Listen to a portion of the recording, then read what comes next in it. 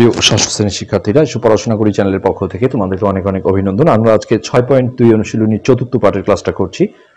আজকে আমরা হচ্ছে একশো বিশ পৃষ্ঠায় এখানে যে কাজটা ছিল, আমরা এটা সলভ করছি। আগের পার্টগুলো যারা দেখোনি, আমরা ভিডিও নিচে প্লে লিস্টের লিঙ্কটা দিয়ে দেবো, সেখান থেকে দেখে নেবে। তো এখানে বলা হয়েছে, অনুমান করে একটা সামান্তরিক, একটা রম্বস আর একটা আয়ত আঁকো, আর এই এই কোশ্চেনগুলোর উত্তর দাও। তো আমরা এত বোকা না, আসলে অনুমান করে এখানে যদিও বলা হয়েছে, আমরা কিন্তু অনুমান করে আঁকবো না। কারণ অনুমান করে আঁকলে দেখা যাবে যে এই মেজারমেন্টগুলো ঠিক থাকবে না। হ্যাঁ কোশ্চেনে বলা হয়েছে অনুমান করে কিন্তু আমরা দেখো কীভাবে করব বিষয়টা। তো প্রথমেই আমরা সামান্তরিকেরটা করছি। সামান্তরিক সামান্তরিক। তো আমরা প্রথম থেকেই কিন্তু এটা হচ্ছে যে পরিমাপ করে করে আঁকবো, না হলে পরে আসলে মেজারমেন্ট ঠিক থাকবে না। তো আমরা আগের পার্টেও সামান্তরিক আঁকা শিখিয়েছি। প্রথমে এই পাশের বাহুটা আমরা যে কোনো একটা মাপে, অর্থাৎ আমরা চার সেন্টিমিটার নিলাম বাহুটা, চার সেন্টিমিটার। আর সামান্তরিকের বিপরীত বাহুগুলো সমান হয় প্লাস সমান্তরাল হয়। তো এই এই বাহুটা আমরা একটা মেজারমেন্ট করে নিই, আমরা দুই সেন্টিমিটার নিলাম। আমরা মেপে মেপে করলে পরবর্তীতে আমরা দ্রুত জিনিসগুলো করতে পারব। আয়ত হলে খাড়া করে দিতে হয়, আর সামান্তরিক আর রম্বস হলে এরকম বাঁকা করে দিতে হয়। তো এই বাকিগুলো, বাকি যে দুটো বাহু আছে, এই দুটো আমরা স্কেল দিয়েও করতে পারি। কিন্তু বেশি ভালো হবে পেন্সিল কম্পাস ইউজ করে। তোমরা অবশ্যই পেন্সিল ইউজ করবে, আমরা ভিডিওতে ভালো দেখার জন্য জাস্ট পেন ইউজ করছি। তো সামান্তরিকের বিপরীত বাহুগুলো সমান হয়, তো এই বাহুটার বিপরীত হবে এইটা। সো এখানে ধরে আমরা এইখানে হালকা করে একটা বৃত্তচাপ দেব। তারপরে এই বাহুর মাপটা সমান করে নিয়ে, এর বিপরীত বাহু যেহেতু এই পাশটা, এইভাবে একটা বৃত্তচাপ দেবো। তবে এখানে অবশ্যই তোমরা এই চিত্রটা কমপ্লিট করার পরে এই যে বৃত্তচাপের যে সেট বিন্দুটা থাকল, এটা আমরা ফোঁটা দিয়ে নেব। হ্যাঁ যখন চিত্রটা কমপ্লিট হয়ে যাবে, বৃত্তচাপ দুটো মিশিয়ে দিতে হবে, কেননা কোশ্চেনে যেহেতু অনুমান করে বলা হয়েছে, এই বৃত্তচাপ দেখলে একটা সমস্যা যে তুমি আগেই মেজারমেন্ট করে এঁকেছো, এই একটা সমস্যা। অন্যান্য ক্ষেত্রে বৃত্তচাপ রাখা যায় এই কোশ্চেনটার ক্ষেত্রে তোমরা এই বৃত্তচাপটা রাবার দিয়ে জাস্ট মিশিয়ে দিবে।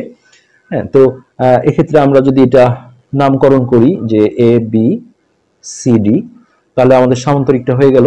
এখন আমরা এই এই কোশ্চেনগুলোর যদি উত্তর দেই, প্রতি ক্ষেত্রে মেপে দেখো প্রত্যেক জোড়া বিপরীত বাহুর দৈর্ঘ্য সমান হয়েছে কিনা। তো এটা ক নম্বরে ছিল। তো আমরা এখানে বলব যে এ বি সি ডি সামান্তরিকটির এ বি সি ডি সামান্তরিকটির বিপরীত বাহু অবশ্যই সমান হবে। আমরা যেহেতু সমান করে এঁকেছি বিপরীত বাহু। তো এবির বিপরীত বাহু হচ্ছে সিডি, তাহলে এবি সমান সিডি। তো এটা আমরা চার সেন্টিমিটার করে নিয়েছিলাম, সমান হচ্ছে ফোর সেন্টিমিটার। আর এই পাশে বিসি আর এডি হলো বিপরীত বাহু বিসি সমান এডি। তো এই বাহুগুলো আমাদের ছিল দুই সেন্টিমিটার করে। তো এটা আমাদের হয়ে গেল। নেক্সট আমরা যদি খ নাম্বারে ঢুকি তো এখানে চাওয়া হয়েছে প্রতি ক্ষেত্রে পরিমাপ করে দেখো প্রত্যেক জোড়া বিপরীত কোণ সমান হয়েছে কিনা। তো কোন পরিমাপ করতে গেলে তোমরা জানো যে চাঁদার প্রয়োজন হয়। আমরা এখন বিপরীত কোনগুলো মেপে দেখব। এই ক্ষেত্রে কিছু কিছু জিনিস মাথায় রাখতে হবে। যেমন প্রতিটা চতুর্ভুজেরই আহ, সামান্তরিকও যেহেতু একটা চতুর্ভুজ চারটা কোণের সমষ্টি কিন্তু তিনশো ষাট ডিগ্রি হতে হবে। এটা একটু কম বেশি হলেই তোমার কিন্তু নাম্বার দেবে না। আর সামান্তরিকের একটা বৈশিষ্ট্য আমরা আগের পাটে দেখেছি যে এই বিপরীত বিপরীত কোণগুলো সমান হয়। অর্থাৎ এই কোণটা আর এই কোণটা সমান হবে আর এই কোণটা আর এই কোণটা সমান হবে। এটাই নিয়ে হোক আমাকে করে দিতেই হবে। তো এইভাবে চাঁদা বসাতে হয়। এই এই রেখাংশটা মিলিয়ে নিয়ে এই গর্তটা এ বিন্দুতে বসিয়ে হচ্ছে যে এই পাশের যে রেখাংশটা আছে, এটা কোন দাগে, এই নিচের লেখাগুলো দেখতে হবে। তো এটা মোটামুটি আমরা দেখি মেজারমেন্টটা আমাদের আশি আশি ডিগ্রি হয়েছে। তো এই কোণটা আমরা লিখে দিই এখানে যে এইটটি ডিগ্রি। তো এটা অবশ্যই এইটটি ডিগ্রি হবে, যেহেতু বিপরীত কোণগুলো সমান হয়। হ্যাঁ তো এটা মাপারও প্রয়োজন হয় না। মাপলে তোমাকে খাতাটা এই দিকে ঘুরিয়ে নিতে হবে।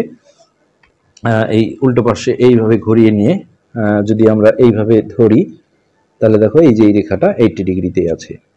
তো এটা তাড়াতাড়ি করার জন্য আসলে আমরা বৈশিষ্ট্যগুলো যদি জানি আর আঁকাটা যদি আমার ঠিক থাকে, তাহলে অটোমেটিক হয়ে যাবে। হ্যাঁ তাহলে এটা কিন্তু এইটটি ডিগ্রি।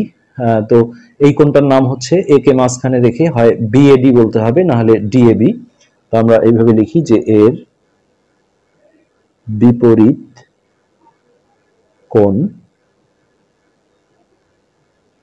তো এটা হচ্ছে কোণ চিহ্ন দিয়ে? বি এ ডি সমান, এই কোণটার নাম আমরা সি কে মাঝখানে রেখে বিসিডি বা ডিসিবি বলতে পারি। তো আমরা বি সিডি লিখছি বি সিডি সমান হচ্ছে, একবারে আমরা এইটটি ডিগ্রি লিখে দিলাম। আর এই দেখো আরও বুদ্ধি আছে, যেহেতু হচ্ছে যে চারটা কোণের সমষ্টি তিনশো ষাট ডিগ্রি হতে হয় এবং সেক্ষেত্রে এই কোণ দুটো যেহেতু সমান হবে, তো এখানে আমরা এই দুটো যদি যোগ করি, আশি আশি হচ্ছে একশো ষাট ডিগ্রি এটা আমরা রাফে দেখি। আর টোটাল যেহেতু তিনশো ষাট হইতে হবে, তাহলে তিনশো ষাট থেকে আমরা যদি এই একশো ষাট মাইনাস করে দিই, তাহলে হচ্ছে এটা শূন্য দুই হ্যাঁ দুইশো ডিগ্রি হ্যাঁ সেই দুইশো ডিগ্রি আবার এই দুইজন যেহেতু সমান, দুই দিয়ে ভাগ দিলে একশো ডিগ্রি করে হবে সো এটা আর মাপারও প্রয়োজন হবে না, সরাসরি আমরা কিন্তু লিখে দিতে পারি। তবে তোমরা এই ধারণাটা করো না যে তুমি যখন চিত্রটা আঁকবে তখনও এটা এইটটি ডিগ্রি হবে, তা না। আসলে থিমটা এরকম হবে যে এই কোণটা আর এই কোণটা সমান হবে, আর এই কোণটা আর এই কোণটা সমান হবে, আর চারটা কোণের সমষ্টি তিনশো ষাট ডিগ্রি হবে। হ্যাঁ তো সেক্ষেত্রে তোমার কাছে এটা সেভেন্টি ডিগ্রিও আসতে পারে, এটা সমস্যা না। শুধুমাত্র আয়ত বর্গের ক্ষেত্রে যেমন ফিক্সড করা থাকে, সবগুলো নাইনটি ডিগ্রি, নব্বই ডিগ্রি হয়। তো, সেক্ষেত্রে এই দুটো আমরা বিপরীত কোণ পেলাম এবং এই পাশে হচ্ছে এ বি সি কোণ বি কে মাঝখানে রেখে, এ বি সি, এর বিপরীত কোণ হচ্ছে এইটা। তো এটাও একশো ডিগ্রি হবে, যেহেতু বিপরীত কোণগুলো সমান হয়, তাই এটাকে ডি কে মাঝখানে রেখে আমরা এ ডি সি লিখব, আর এইখানে আমরা লিখে দেব একশো ডিগ্রি। তো এটা ছিল খ নাম্বারের বিষয়, এবার গ নাম্বারটায় যাই। প্রতি ক্ষেত্রে কর্ণদ্বয় তাদের ছেদবিন্দুতে সমদ্বিখণ্ডিত হয়েছে কিনা মেপে দেখো। এখন আমাদের এই যে এ আর সি এটা যোগ করে দিতে হবে, আর এদিকে বি কমা ডি যোগ করতে হবে, তাহলে আমরা দুটো কর্ণ পাবো। এই কর্ণ দুটো দেখো, আমরা যদি ও বিন্দুতে ছেদ করাই, তাহলে এই কর্ণগুলো সমদ্বিখণ্ডিত হওয়া মানে হচ্ছে এই যে এ ও অথবা ও এ যেটাই বলো এটা আর ও সি সমান হতে হবে, আর এদিকে ও বি আর ও ডি সমান হতে হবে। তো এটা যদি অল্প কম বেশিও হয়, এটা আসলে করে দিতেই হবে, না হলে নাম্বার দেবে না, যেহেতু সামান্তরিকের এটা বৈশিষ্ট্য। হ্যাঁ তো এইটা যদি আমরা মেপে দেখি এ ওর মাপটা আমরা নিচ্ছি।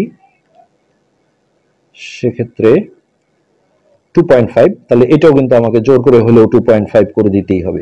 তো আমরা এখানে লিখি যে এখানে আহ, কর্ণদ্বয় এও সমান সিও সমান হচ্ছে টু পয়েন্ট ফাইভ সেমি আর এই পাশে আমাদের বিও আর ডিও এই দুটো একই মাপ হতে হবে। তো এটা দুই সেন্টিমিটার আছে প্রায়। হ্যাঁ এটাও দেখো দুই সেন্টিমিটার। তাহলে এটা আমরা বলব বিও। তুমি যখন আঁকবে চিত্র, তোমার ভিন্ন হতে পারে, কিন্তু এই, এইটা আর এটা সমান হতে হবে, আর এটা আর এটা সমান হতে হবে। তো বিও সমান ডিও সমান হচ্ছে টু সেন্টিমিটার। বাস এটা হয়ে গেল। নেক্সট গ নাম্বারে যেটা ঘ নাম্বারে যেটা আছে এটা শুধুমাত্র রম্বসের ক্ষেত্রে প্রযোজ্য। রম্বসের বেলায় কর্ণদ্বয়ের ছেদবিন্দুতে উৎপন্ন কোণগুলো পরিমাপ করে দেখো, তারা লম্বভাবে ছেদ করেছে কিনা। অর্থাৎ রম্বসের ক্ষেত্রে যেটা হবে, এখানে এই যে একটা দুটো তিনটে চারটা কোণ আছে প্রত্যেকটাই সমকোণ হবে। তো এই সামান্তরিক আর হচ্ছে যে রম আয়তের ক্ষেত্রে আমাদের এই প্রসঙ্গটা আসবে না এটা রম্বসের ক্ষেত্রে। হ্যাঁ, এরপরে আমরা হচ্ছে যে দ্বিতীয় ক্ষেত্রে আমাদের যে রম্বস ছিল এই রম্বসের এরকম আমরা একটা কাজ করব। তো রম্বসের আমরা জানি চারটা বাহুই সমান হতে হয়। তো সেক্ষেত্রে আমরা বাহুটা যদি চার সেন্টিমিটার করে নেই তো এইদিকেও বাঁকা করে আমাকে চার সেন্টিমিটার নিতে হবে। রম্বস আর আয়ত এই দুটো বাঁকা হয় যেহেতু এদের কোনো কোণই সমকোণ হয় না। তো এই দুইটা বাহু করে নিয়ে বাকিটা আমরা কিন্তু কম্পাসের সাহায্যে বৃত্তচাপ দিয়ে করতে পারি। এটাই হ্যাঁ, আমার কাছে মনে হয় যে অনেক সোজা। তো এই বাহু দুটো আমরা চার সেন্টিমিটার নিয়েছি মাপটা সমান হ্যাঁ সমান আছে।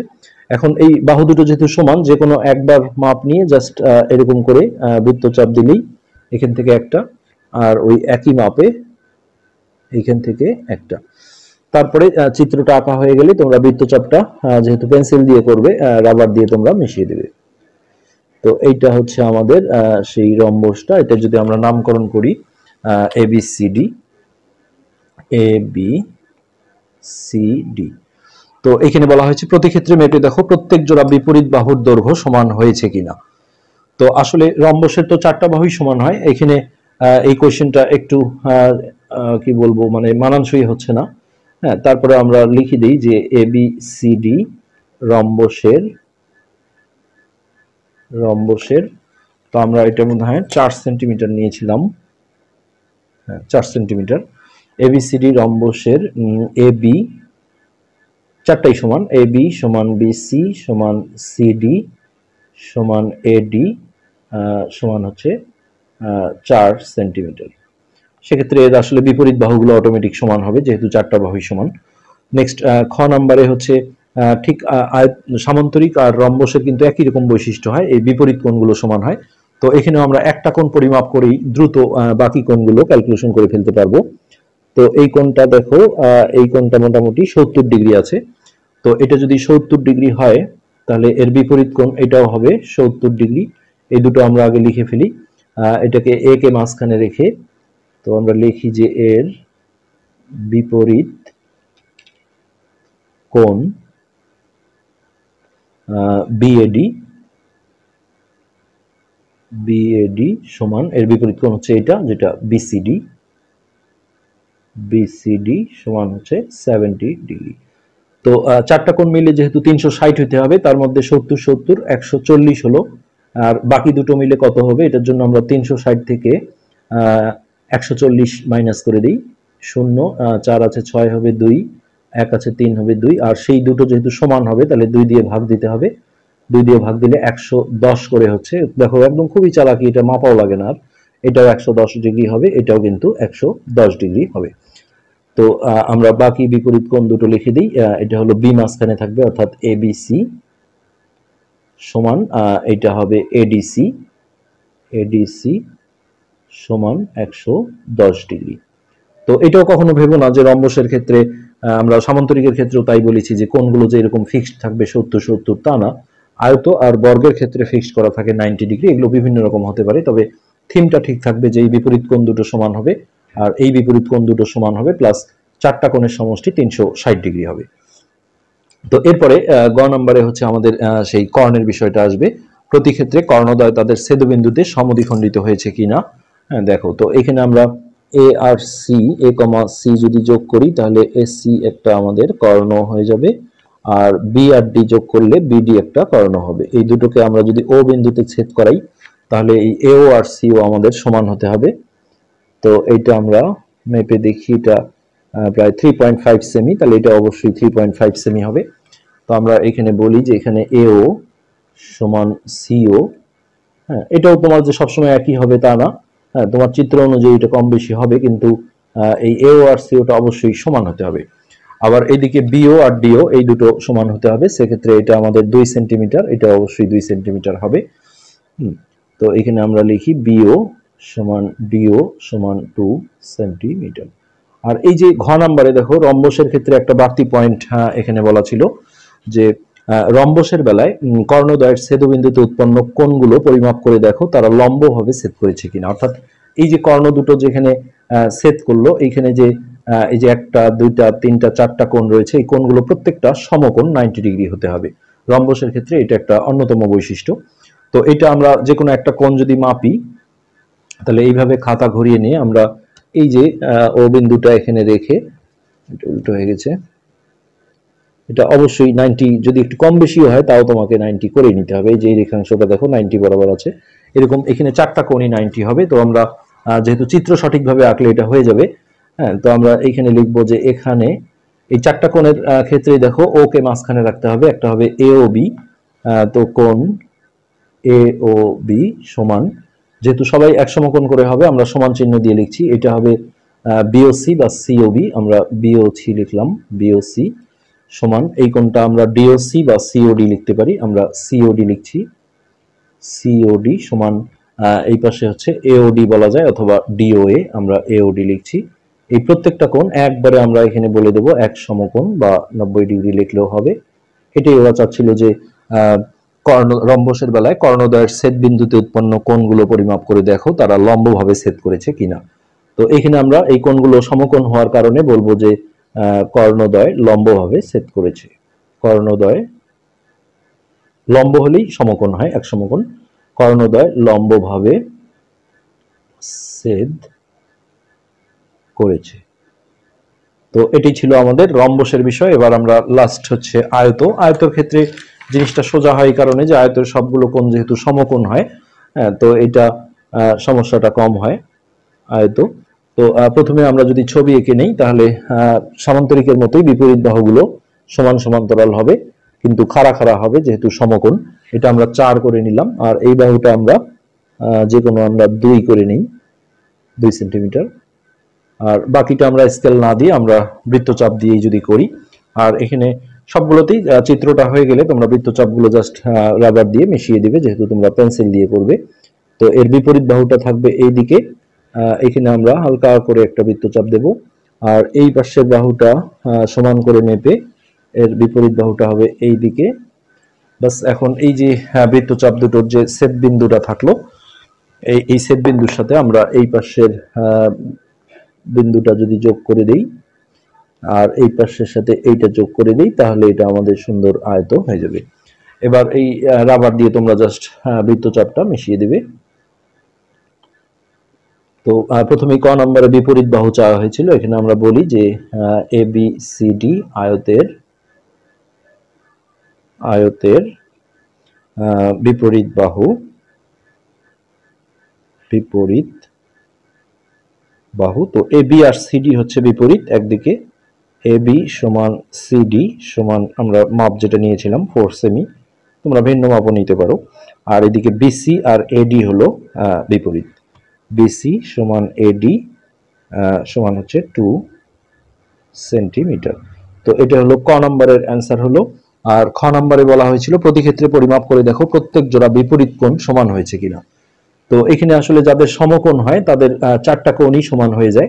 হ্যাঁ তো সেক্ষেত্রে এখানে আমরা বিপরীত কোণ, যেহেতু কোয়েশ্চেনে বিপরীত কোণ বলেছে, আমরা সেইভাবেই বলি যে এর, তো এই যে এই কোণটা আর এই কোণটা বিপরীত, তো এটা হচ্ছে বিএডি বিএডি সমান বিপরীত কোণ হচ্ছে বিসিডি বিসিডি এটা একদিকে আর একদিকে এই যে এটা আর এটা সমান সমান আমরা নব্বই ডিগ্রিটাও লিখে দিই নাইনটি ডিগ্রি, আর আরেক দিকে হচ্ছে এবিসি এর বিপরীত কোণ হচ্ছে এইটা, যেটা এডিসি তো এরাও কিন্তু নাইনটি ডিগ্রি হয় আয়তের সবগুলো কোণই যেহেতু সমকোণ হয়, এটা মাপারও প্রয়োজন হয় না, খাড়া করে নিলে অটোমেটিক সমকোণ বা নাইনটি ডিগ্রি হয়ে যায়। তো এটাও আমরা একটু বাড়তি বলে দিই যে, অর্থাৎ এর চারটি কোণই সমান। কোশ্চেনে আসলে বিপরীত চাওয়া হয়েছিল জন্য আমরা বিপরীত বিপরীত দিলাম, কিন্তু আমরা পরে দেখলাম যে চারটা কোণই সমান হয়ে গেছে, অর্থাৎ এর চারটি কোণই চারটি কোণই সমান। নেক্সট গ নাম্বারে যেটা চাওয়া হয়েছে, কর্ণের বিষয়টা। প্রতি ক্ষেত্রে কর্ণদয় তাদের সেট বিন্দুতে সমদ্বিখণ্ডিত হয়েছে কিনা। তো এই বিষয়টা সবগুলোরই হয়। হ্যাঁ এখানেও যে টুকরো যে খণ্ডিত অংশগুলো আছে, সেগুলো সমান হয়ে যাবে। এটা যদি আমরা ও বিন্দুতে দিই, তো আমরা এই এওটা যদি মেপে নিই এটা দেখো টু পয়েন্ট ফাইভ এটা অবশ্যই টু পয়েন্ট ফাইভ হতে হবে। আর এখানে আরেকটা উল্লেখযোগ্য জিনিস আছে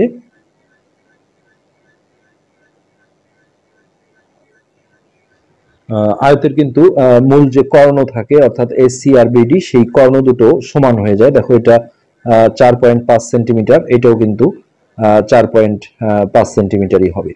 হ্যাঁ যার কারণে এখানে আর একটা বৈশিষ্ট্য যেটা, সেটা হচ্ছে যে এই এও আর সিও তো সমান হবেই, আর বিও আর ডিও সমান হবে কিন্তু এসি আর বিডি সমান হওয়ার কারণে এখানে কিন্তু চারটা টুকরাই সমান হবে।